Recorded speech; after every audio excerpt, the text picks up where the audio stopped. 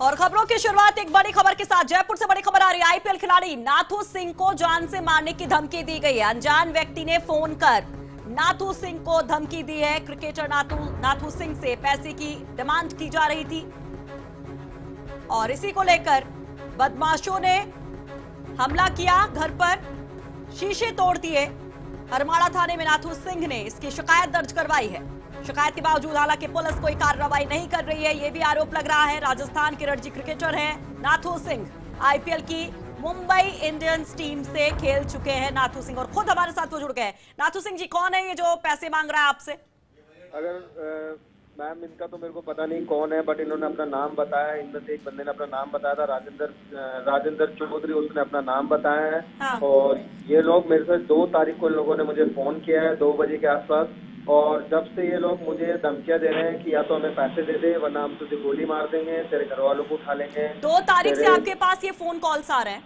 हाँ जी मैम अच्छा और क्या कितनी डिमांड की जा रही कितने रुपए मांगे जा रहे हैं? मैम डिमांड तो बहुत कम की जा रही है बट हमें हिसाब से लगा कि ये लोग मतलब कि अभी डिमांड कम करके बाद में बढ़ाने वाले हैं। तो हमने मूल्य हर हरवाड़ा थाने में इस चीज़ की रिपोर्ट भी करवाई है।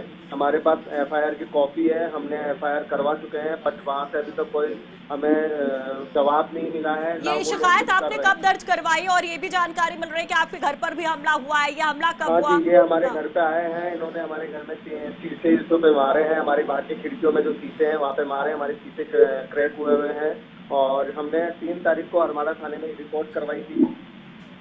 जी। और अभी तक आज नौ तारीख हो गई है अभी तक हमें कोई तीन तारीख को आपने मामला दर्ज करवाया था पुलिस थाने में लेकिन उसके बाद पुलिस क्या कुछ कहती है? क्या पुलिस पहुँची घर? मैं- मैम पुलिस अभी तक हमें कोई जवाब नहीं दे रही है। पुलिस वाले कुछ नहीं बोलते हैं। ये बोलते हैं आज पकड़ेंगे कल पकड़ेंगे आज पकड़ेंगे कल पकड़ेंगे आज किससे किससे बात की है नाथू जी आपने पुलिस महकमे में? हमारी एसओचओ राजेश राजेश सैनी जी से बात हुई है। एसएचओ राजेश सैनी से आपकी बात हुई है? हाँ जी हमारी बात हुई बोले? हम कल उनसे खुद मिल के आए हैं राजेश सैनी जी से। हाँ। तो उन्होंने ये बोला कि हम आज का नाम दिया था बोले आज शाम को हम आपके सामने भी आएँगे लेकिन अभी तक उनके राजेश सैनी जी ना तो मेरा फ़ोन उठा रहे हैं और हाँ। उनके जो साथ वाले हैं बंदे उन्होंने अपने फ़ोन बंद कर दिए हैं और हमने उनको दिन में फ़ोन किया उन्होंने कोई जवाब नहीं दिया अभी तक हमें कोई इन्फॉर्मेशन नहीं दी। उस दिन कि वो बंदे कौन है कहाँ है क्या कर रहे हैं। जी। अच्छा ये जिन लोगों ने हमला किया था, वो कितनी संख्या में थे? क्या कुछ देख पाए थे आप? मैम, हम लोगों को यहाँ के लोगों से जान पहचान मिली है तो वो लोग बता रहे हैं कि दो लोग आए थे व्हाइट कलर की मोलेरो गाड़ी लेके आए हैं और वो लोगों ने ही किया है तो हम लोगों को उन लोगों के द्वारा जानकारी मिली थी। अच्छा ये भी बताइए जरा कि क्या केवल फ़ोन कॉल्स आ रहे हैं या मैसेजेस भी आ रहे थे आपको? इसके पहले भी कभी कोई धमकी दी गई थी? फ़ोन कॉल्स ही आ रहे हैं उनसे वो मुझे बार बार फ़ोन कॉल्स कर रहे हैं रात को बारह बारह बजे एक एक बजे। और मुझे ये तकात कह रहे हैं कि रात को तीन बजे आएँगे तुझे मार के जाएँगे तेरे घर वालों को खा ले जाएँगे तेरा तो सिक्योरिटी मांगी आपने? पुलिस से सिक्योरिटी के लिए कहा आपने?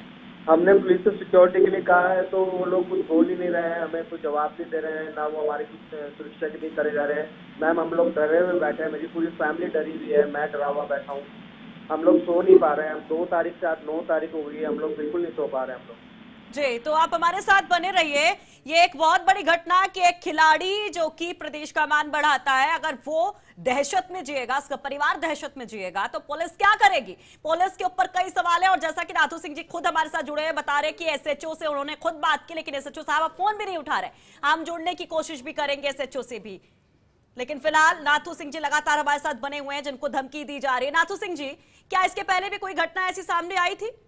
नहीं मैम इसके पहले कोई घटना नहीं आई है। उनको बस एकदम से उनका मेरे पास दो तारीख को कॉल आया। वो लोग जब से मुझे परेशान कर रहे हैं और अभी तक भी वो मुझे परेशान करे जा रहे थे। अभी एक दो दिन से उन्होंने बंद किया है कॉल करना अभी।